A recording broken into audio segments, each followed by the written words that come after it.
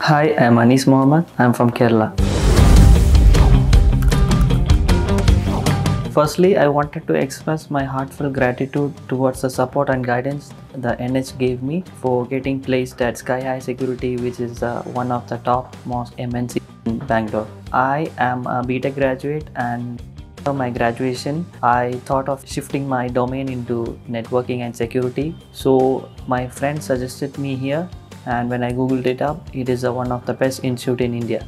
From the initial conversation to the offer letter, I felt their professionalism and commitment towards the work, and the mentors here are really outstanding and helpful. Also, the lab facilities here is the best in India, and actually, there we get to have real time experiences with the devices. Finally, I wanted to thank uh, HR Susan ma'am who supported me throughout the placement journey. Also, I wanted to thank all the members in NH and also finally I suggest all of you this institute not only for job but also to achieve success in their careers. Thank you.